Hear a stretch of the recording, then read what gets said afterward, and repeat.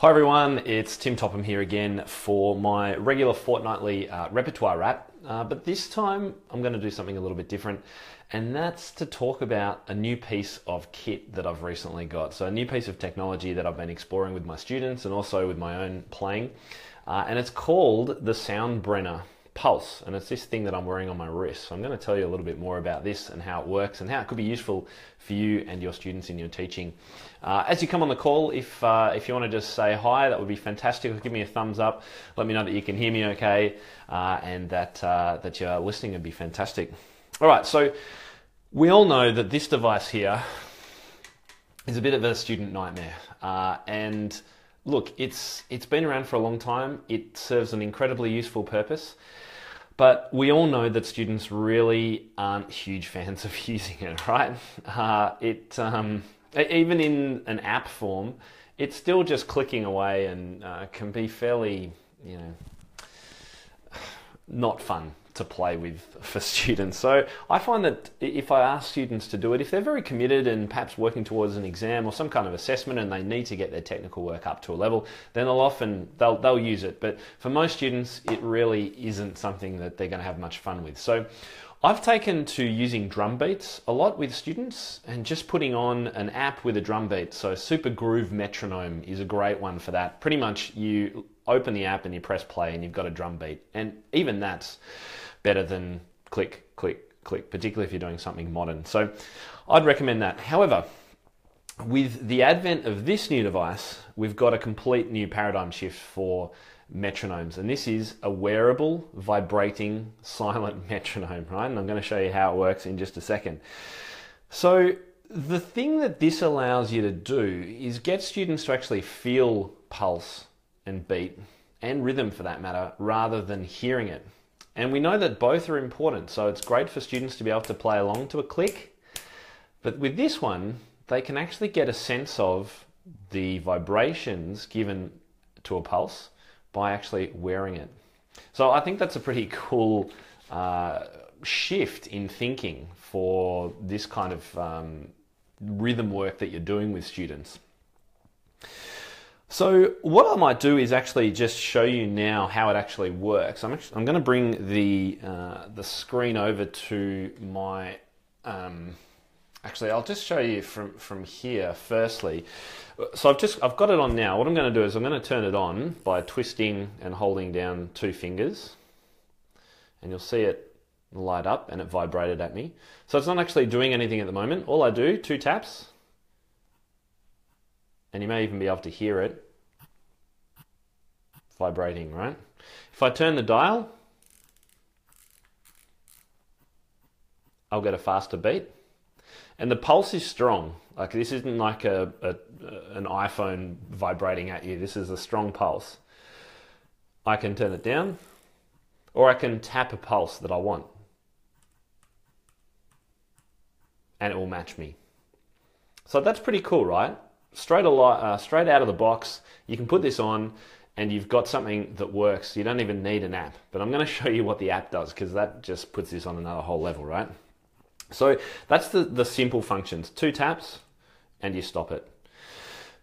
Now, uh, I should mention it also comes with two straps. So uh, if you happen to be a drummer or something like that and you prefer to wear it around your ankle, or even pianists could do that, I guess, uh, you could do that. You could put it on your upper arm. So there's two lengths of strap and the actual round section here just comes out and goes into a new strap. So let's check out the actual um, app and how this works uh, so you can get a feeling for the capability because I think this is pretty cool. All right, so this is the Soundbrenner metronome app. I think you'll be able to see that okay. Give me a thumbs up if uh, if you're live and, and can see that all right. I think I'll just go about there. Uh, so if I double tap, these two will actually uh, hook up and link. So let's just make sure that the, the two are linked. I'm just going to add my metronome to connect the two together. So they're now synced. And you can see as this flashes, so these bars are flashing here. And I can change the tempo here. or I can continue to change the tempo or start and stop it on the actual device too. So either way works. So with this just vibrating along here now, I could easily play a scale and keep in time. Two, three, four.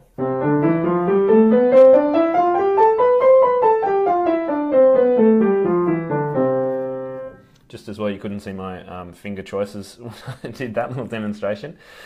All right, so that's kind of the, the basic uh, overview of how you can use it. Now, the app allows you to do some more pretty cool things. So, the four boxes up here each have three little boxes in them, and this actually changes the accenting and, both, and also the colors on the device. So, if I now play, you can see the first pulse is now green and it feels different. The reason that this can be helpful is one for helping students feel a downbeat. The other thing I like about this is that you can explore multiple time signatures and different beat groupings. So, for example, in 4 4 time, sometimes music has that kind of 1 2 3 1 2 3 1 2 1 2 3 1 2 3 feel to it, right? So, what I could do is I could actually put this uh, in an 8 8 pattern, which will give me the ability now, you can see there's eight. Uh, boxes across the top here. So I could now go one, two, three, one, two, three, one, two, and changing the first of each of those accent groups to give us that pattern. So now if I start it,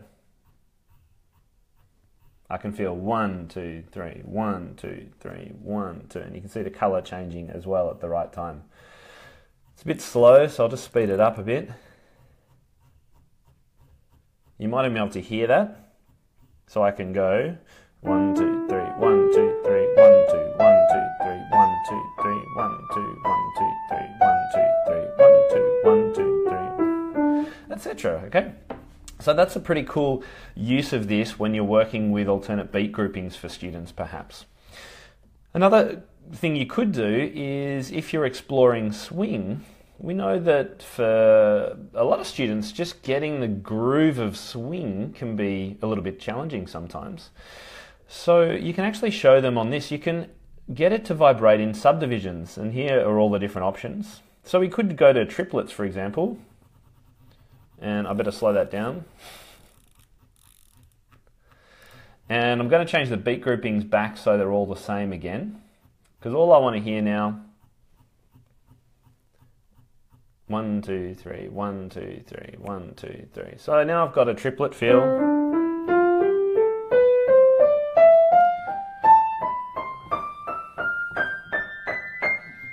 I've always liked doing op, op, um, scales in triplets uh, over three octaves. That's always a good fun thing to do. So now that they've got the triplet feel, you could just take out the uh, middle note and they'll feel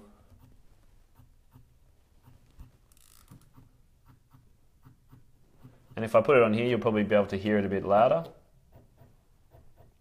da da da da da da da da so they could potentially, if you needed to work on some swing rhythm rhythm with them, uh, you could do some work with them having this on their wrist. The other thing about the beat groupings that I like is that I, I enjoy helping students practice scales in rhythms. I think it's good for technique, it's, uh, it makes things a little bit more interesting and often a bit more challenging. So if you have a look on the app here, the beat groupings, you also have a whole lot of, oh, sorry, rhythmic ideas that you can use as well. So, for example, just a simple dotted rhythm.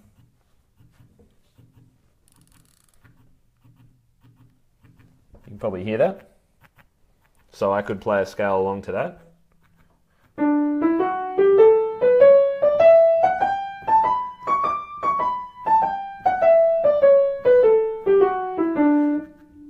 Which is very different to the swing rhythm, and you could have a discussion with, with students about that. Uh, you could ask them, you know, put on a different pattern and they could play a scale according to this rhythm.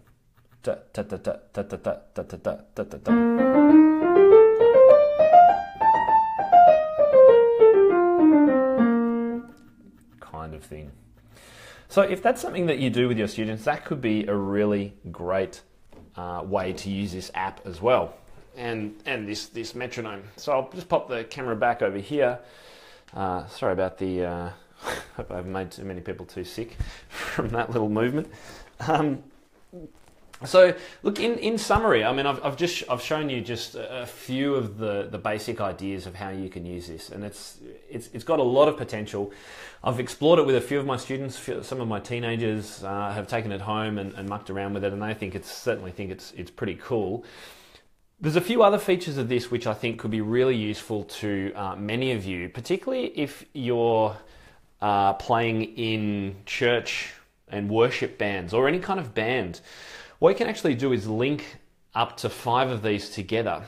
So if you have ever been in a situation where you'd like to use a click track with your playing, then this will actually avoid people having to wear headphones and link up to a computer just clicking away to keep everyone in time.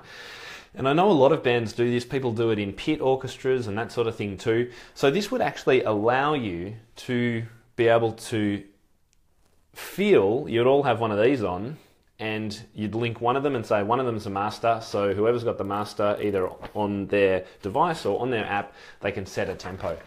Of course, the other thing that that you might not realize this thing can do is like you can save all these patterns as well. You can even save beats and click tracks or whatever it is over a certain period of time. So you could say that it's 32 bars long or it changes at a certain amount of time to a different time signature. Like it's actually incredibly complex if you go right into depth on it. I'm at the moment just kind of giving you the quick overview because I don't want to take too much of your time. I'm getting a few thumbs up, which is great. Let me know if uh, if this sounds like a pretty cool thing that you could use. The other thing it does, if you're a music producer or you work with students in uh, digital audio workstations, is it actually links directly into those. So it can be a metronome that can be used directly with a DAW, DAW, digital audio workstation for people that are doing music production. I don't do a lot of that anymore, but when I was doing it as a music producer, I could see that this could be incredibly useful as a tool. So as a quick summary, you can change your beat groupings, your accenting. Uh, there's three different levels of accenting. I only showed you really well, one or two.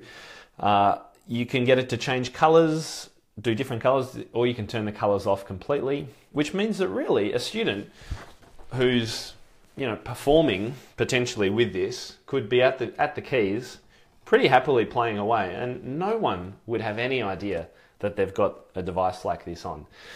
Now, of course, I'm not a huge proponent of using metronomes in performance, but there might be that time that a student just needs to get over the line or they're rushed or whatever it is, and this could be a trick that really helps them.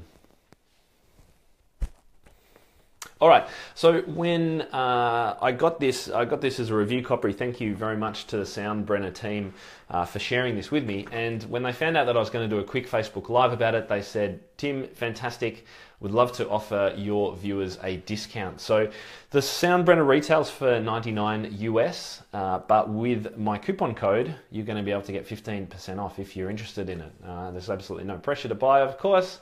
Uh, just something that you might want to check out uh, a little bit more information about. They've got a really comprehensive website, lots of reviews from people who are using it. Uh, so I'd recommend checking it out. And I've set up a landing page on my site which has got the details and the, co- the code that you'll need, and that's at timtopham.com slash pulse, P-U-L-S-E.